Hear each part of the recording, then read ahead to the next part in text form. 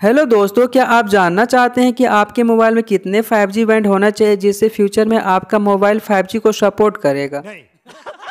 जान लीजिए काम की चीज़। है तो चलिए शुरू करते हैं और कुछ नया जानते हैं। वैसे तो आपके मोबाइल में केवल एक ही 5G बैंड होगा तब भी आपके मोबाइल में 5G सपोर्ट करेगा लेकिन इसके दो कंडीशन है। पहला कंडीशन ये है कि आपके मोबाइल में एन सेवेंटी एट बैंड होना चाहिए।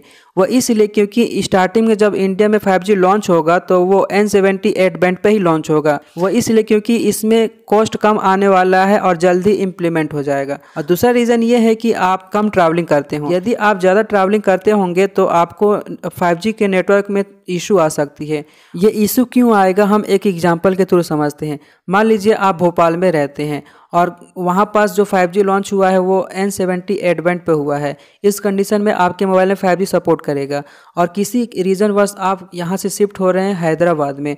और वहाँ पर जो 5G लॉन्च हुआ है, वो है एन सेवेंटी सेवन बैंड या फिर एन सेवेंटी थ्री बैंड पे। तो इस कंडीशन में आपके मोबाइल में 5G सपोर्ट नहीं करेगा वो। इसलिए क्योंकि आपके मोबाइल में जो 5G का बैंड है, वो केवल एक ही है एन सेवेंटी एट बैंड तो इस कंडीशन में आपके नेटवर्क में इशू आ सकती है। यदि आप कम ट्रैवलिंग करते हैं तो आपके मोबाइल में एक दो फाइव जी बैंड होगा तो आसानी से आपका मोबाइल सर्वाइव कर जाएगा।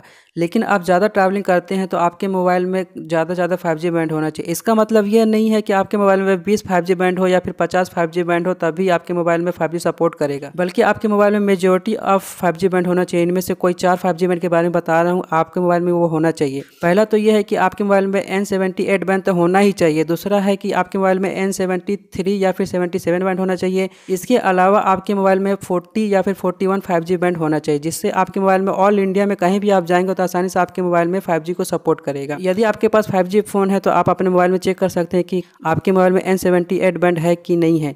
यदि है तो कमेंट सेक्शन में ज़रूर बताइएगा। यदि आप नया 5G फ़ोन लेना चाहते हैं तो आप ये चारों 5G बैंड को आसानी से चेक कर सकते हैं। यदि उन मोबाइल में ये ये सभी 5G बैंड होगा तो अभी आप उस स्मार्टफ़ोन को लीजिएगा, वरना मत लीजिएगा। आई होप कुछ नया जानने को मिला होगा। मिलते हैं हम अगले वीडियो में। तब तक के लिए जय Hind. Thanks for watching this video